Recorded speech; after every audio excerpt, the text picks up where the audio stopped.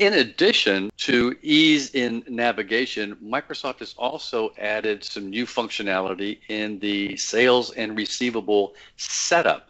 Let's take a look at that. Go to our sales and receivable. And here we have two new fields, default item quantity and create item from description.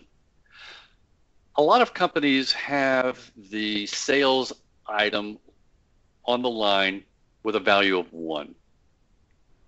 Most of the time, the quantity will be one. This option allows you to have the system automatically enter a quantity of one. If it happens to be more, you can certainly override that. But since your default is one, the system will automatically enter that, alleviating the need to enter in a quantity of one. Create item from description allows you to create a new item at the sales order for an item that you're entering in that is new and use the description that you're entering in order to be able to create that new item. You don't have to leave the sales order, go to the item master, create the item, come back to the sales order, and then continue on. The system will allow you to create it right there on the fly. Let's go see how these work. New. Show fewer fields. Enter in our customer number. enter, enter in our requested date, enter, takes us right to the type. It's an item, 1000. It's our bicycle.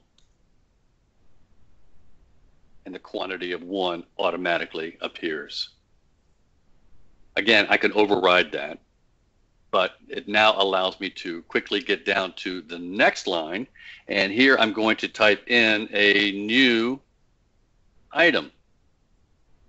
And I hit this, I hit enter. The system is now saying that item does not exist. Do you want to create the new item for the description of new item? Or do you want to select from the item master? Perhaps you've entered in a, a wrong description uh, and the item does exist. So you can choose from that. In this example, we'll say we don't have that item in the item master. I want to create the new item. I say OK. The system allows me to use the template that we want to default from for the new item. I'll choose the retail item template. Here I've used series numbers. My description is already there. Other information that I needed is already associated with my template. I simply say OK. And now I have the new item with the default quantity of one. So those are some of the ways that Microsoft has enhanced Dynamics NAV.